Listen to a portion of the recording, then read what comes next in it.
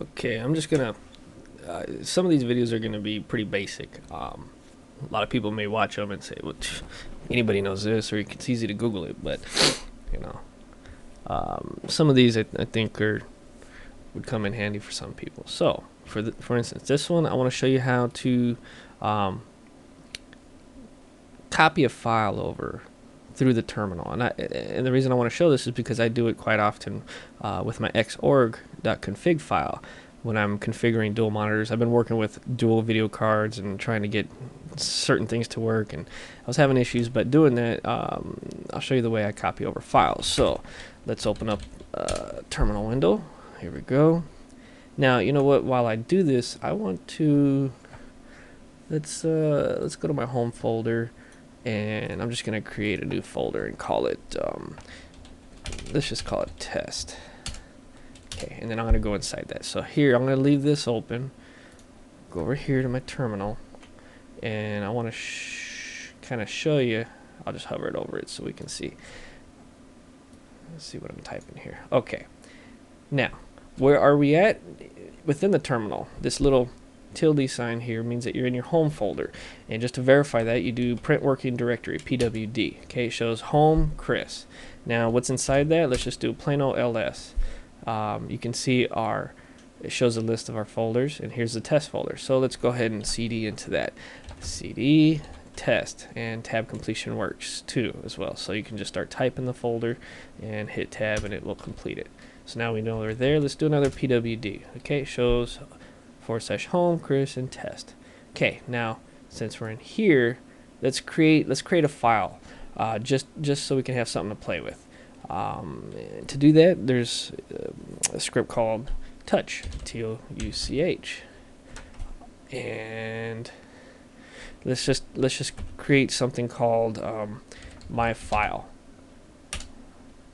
Okay, and you see it showed up behind there. Let me move it so in case you can't see it. There's test my file.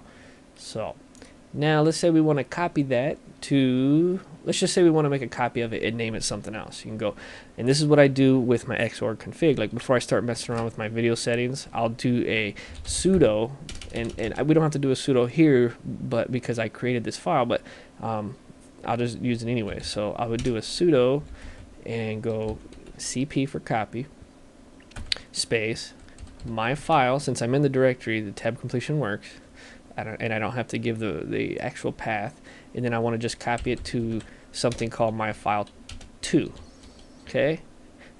Enter. And because I'm using sudo, which again, I don't have to for this file, but I'm gonna, uh, I have to put in my password. So there you go. Now there it is. And uh, you got my file and my file 2. And I think the reason that there's a little lock here is because I did use sudo. So let's try it without sudo. Let's go copy my file to my file 3 enter. Yep, see now this one doesn't have um, that little lock. And let's just look at let's look at this directory with a couple settings here. This shows that my file is I'm the owner. Now the one I made a copy with with sudo root's the owner. And the third one is me again. So that's just kind of I'll do that with my Xorg config and, and, just to show you let's let's cd into that. So we're gonna go etc x11 uh, and then we'll do ls let's do al with um, xorg config and this will show all the files I have. And here's some backups that were created automatically and here's some backups that I created some backups just with uh, some different file names and stuff. So and it shows that root is the owner so you have to sudo copy those when you need to make a backup. But um, that's just a real quick little tutorial on on what I use for um, copying over files pretty quickly so